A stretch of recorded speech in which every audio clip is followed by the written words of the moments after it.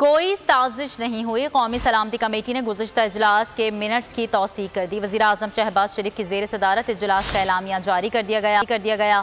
Security इदारों को किसी साजिश के शवाहद नहीं मिले।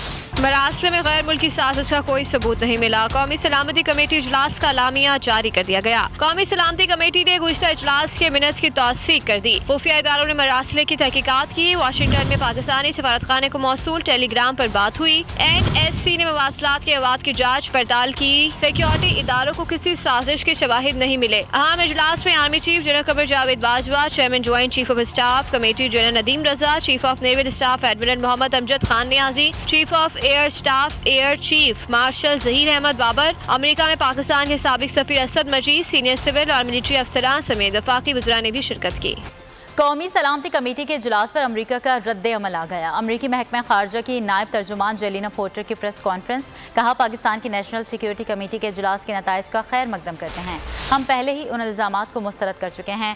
जेलिना पोर्टर का मजीद कहना था कि पाकिस्तान के साथ देरीना दो तरफा ताल्लुक हैं। हम हमेशा पाकिस्तान के साथ ताल्लुक को अहमियत देते हैं।